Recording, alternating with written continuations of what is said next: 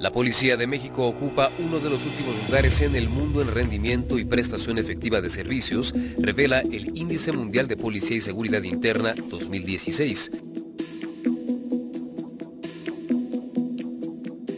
El documento detalla que las corporaciones de seguridad de nuestro país se ubican en el lugar 118 de 127 países. Por lo tanto, la policía mexicana se ubicó por debajo de países como Sierra Leona, Honduras, Zambia, Liberia, Tanzania, Guatemala, Guinea y Nicaragua.